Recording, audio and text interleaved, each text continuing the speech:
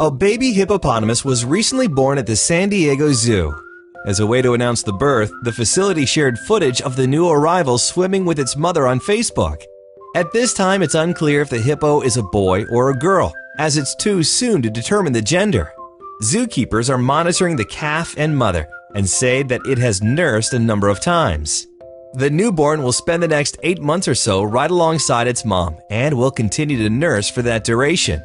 A spokesperson for the San Diego Zoo said that the baby has no known medical problems, and judging by the footage, it seems to be a happy and active calf.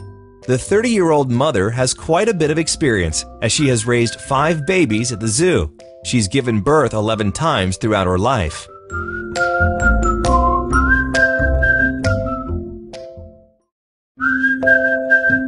A baby hippopotamus was recently born at the San Diego Zoo. As a way to